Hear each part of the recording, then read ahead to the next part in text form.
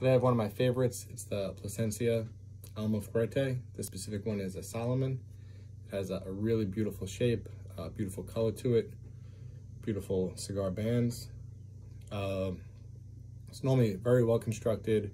Uh, you'll see when I smoke this, it should keep this uh, same uh, shape uh, without breaking the ash.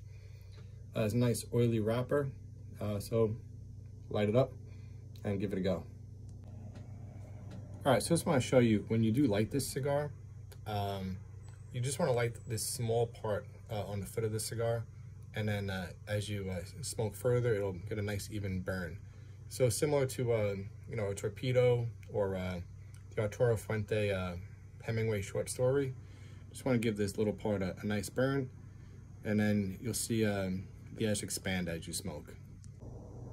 All right, so you can see the burn is developing it's a little wave in the beginning.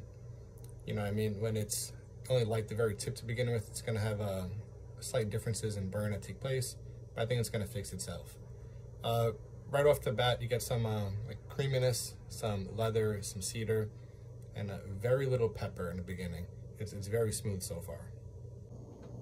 All right, as you can see, uh, it did end up fixing itself. It's looking really beautiful. It's a little flaky in some spots, but it's still really beautiful and uh, it's still really enjoyable. All right, so I'm uh, it's at the halfway mark. You can see I touched it up. Uh, not touched it up, I had to relight it because I, like I always do, I stop paying attention when I'm doing other work and uh, my cigar goes out. Uh, it's starting to get a, a, lot stronger, so it was kind of medium to begin with. Now it's definitely getting uh, stronger. Uh, it's, still very enjoyable, still smooth, still creamy, some espresso, maybe cappuccino, still light pepper. Uh, the cedar is still there, and, and the leather is still there. It's a, it's a re there's a reason why it's like one of my favorite cigars. All right, so this uh, full strength Nicaraguan Puro uh, definitely is highly recommended.